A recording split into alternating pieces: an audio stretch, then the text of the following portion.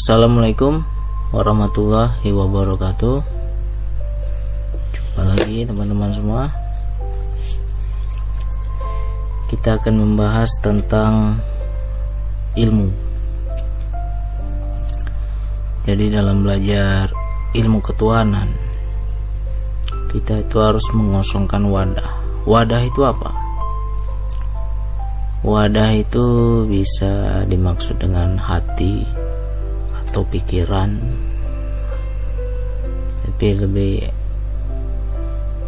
enaknya itu kita maknakan dengan zero kosong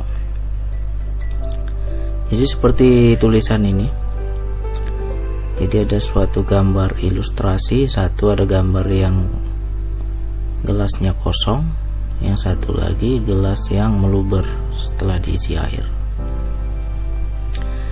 Gelas kosong akan terisi murni apa yang diisi.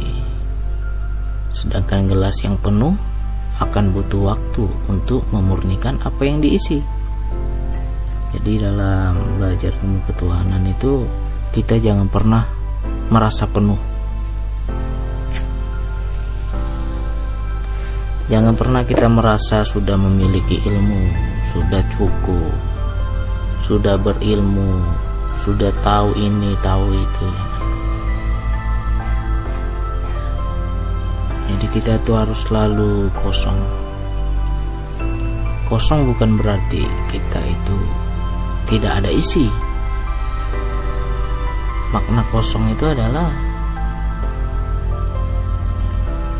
kita itu memberi ruang agar sesuatu yang baru itu dapat lagi diisi oleh Allah. Makanya orang belajar ilmu makrifat, ilmu ketuhanan, mereka tidak pernah merasa aku ini pintar, aku ini berilmu, aku ini banyak tahu, tidak. Justru orang yang belajar ilmu makrifat itu mereka akan semakin bodoh. Nah, bodoh inilah makna gelas yang kosong. Dia akan selalu ingin belajar, dia akan selalu ingin ingin lebih tahu lagi. Jadi dia akan selalu belajar, belajar, belajar.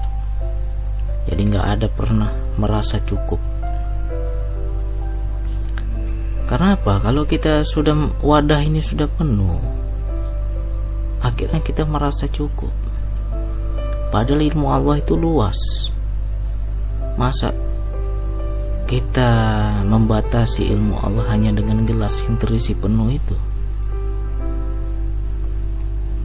Padahal sangat banyak ilmu Allah yang luas itu ingin dimasukin lagi tapi karena kita menolak sehingga tidak masuk.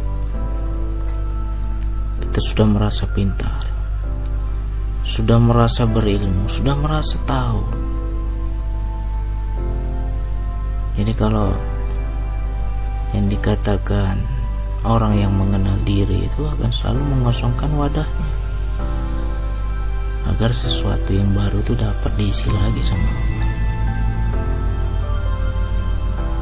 Jadi banyaklah contoh dalam kehidupan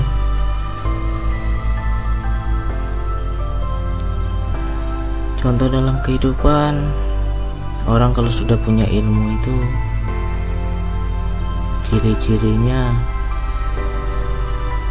akan cepat menyalahkan orang lain. Karena dia sudah merasa paling tahu.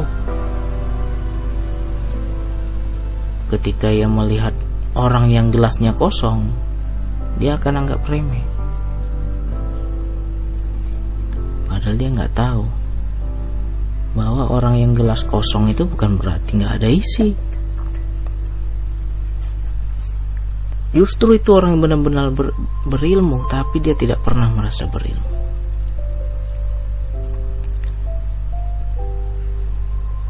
Jadi kalau kita itu belajar itu jangan pernah memakai ilmu. Kosong saja. Karena kalau sudah merasa berilmu itu nggak akan masuk lagi. Ilmu kita hanya sebatas gelas itu.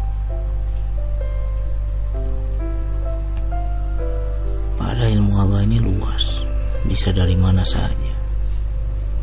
sesuatu yang kita tidak tahu itu bukan berarti nggak ada. Mungkin bisa jadi karena pemahaman kita belum sampai situ. Makanya orang kalau udah banyak berilmu itu pasti bawaannya akan membantah membantah dan membantah. Karena dia sudah punya ilmu. Sehingga berani dia untuk membantah setahu saya begini nggak ada itu. Nah itulah ciri orang berilmu. Tapi kalau orang nggak punya beri nggak merasa punya ilmu dia akan banyak mendengarkan. Dia cerna dulu ini benar nggak? Apa bisa saya ambil nggak ini? Ini benar atau salah? Nggak pernah dia meras membantah mentah-mentah itu nggak pernah jadi jangan cepat kita terlalu membantah. Karena wilayah ilmu Allah ini bertingkat-tingkat. Banyak kisah di Al-Quran seperti kisahnya Nabi Musa dan Khidir. Yang satu memandang dari segi syariat yang satu lagi memandang dari segi hakikat. Tentulah Musa itu Nabi Musa membantah. Karena dia nggak ada pengetahuan dianggap benar bagi diri dia benar. Tetapi Nabi Khidir juga tidak salah.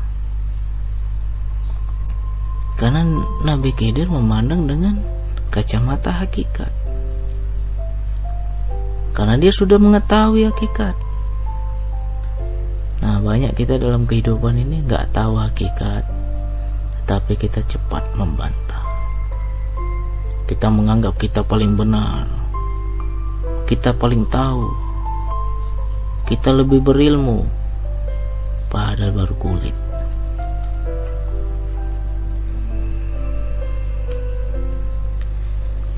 Jadi ya apa pun yang kita pelajari apa pun metodenya apa pun jalannya kosongkan wadah itu aja. Apabila wadah ini kosong berarti masih ada ruang untuk diisi lagi Jangan pernah merasa penuh, jangan pernah merasa puas, jangan pernah merasa paling tahu. Kalau cocok ambil, kalau nggak cocok ya udah abaikan, tinggalkan, jangan kita bantah.